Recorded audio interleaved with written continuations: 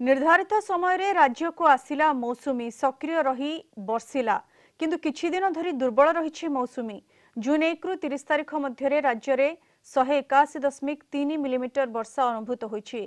ସ୍ୱାଭାବିକ ବର୍ଷା ଦୁଇଶହ ସତର ଦଶମିକ ସାତ ମିଲିମିଟର ଠାରୁ ଏହା ସତର ପ୍ରତିଶତ। ଆଜି ସୁଦ୍ଧା ଚଉଦ ଜିଲ୍ଲାରେ ନିଅଣ୍ଟିଆ ବର୍ଷା ହୋଇଛି। ଏହି ଜିଲ୍ଲାଗୁଡ଼ିକରେ ସ୍ୱାଭାବିକ ବର୍ଷାଠାରୁ କୋଡ଼ିଏରୁ ଅଣଷଠି ପ୍ରତିଶତ ଯାଏଁ କମ୍ ରହିଛି। ଚାରି ଜିଲ୍ଲା ପୁରୀ କଟକ କେନ୍ଦ୍ରାପଡ଼ା ଏବଂ କୋରାପୁଟରେ ସ୍ୱାଭାବିକଠାରୁ କୋଡ଼ିଏରୁ ଅଣଷଠି ପ୍ରତିଶତ ଯାଏଁ ଅଧିକ ବର୍ଷା ରେକର୍ଡ ହୋଇଛି ଅବଶିଷ୍ଟ ବାରଟି ଜିଲ୍ଲାରେ ସ୍ୱାଭାବିକ ବର୍ଷା ହୋଇଛି ଜୁନ୍ ମାସରେ କୋରାପୁଟ ଜିଲ୍ଲାରେ ସର୍ବାଧିକ ଦୁଇଶହ ପଞ୍ଚାଅଶୀ ଦଶମିକ ସାତ ମିଲିମିଟର ବର୍ଷା ରେକର୍ଡ ହୋଇଛି ଗଞ୍ଜାମ ଜିଲ୍ଲାରେ ସର୍ବନିମ୍ନ ଚଉରାଅଶୀ ଦଶମିକ ତିନି ମିଲିମିଟର ବର୍ଷା ରେକର୍ଡ ହୋଇଛି ଏକ ଜୁନ୍ରୁ ତିରିଶ ଜୁନ୍ ମଧ୍ୟରେ ଓଡ଼ିଶାରେ ଶହେ ଏକାଅଶୀ ଦଶମିକ ତିନି ମିଲିମିଟର ବର୍ଷା ହୋଇଛି।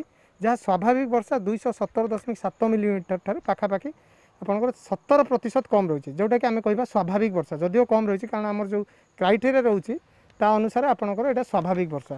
ଆଉ ବର୍ତ୍ତମାନ ସୁଦ୍ଧା ଯଦି ଦେଖିବା ଆମେ ପାଖାପାଖି ଚଉଦ ଜିଲ୍ଲାରେ ଆପଣଙ୍କର ନିଅଣ୍ଟିଆ ବର୍ଷା ରହିଛି।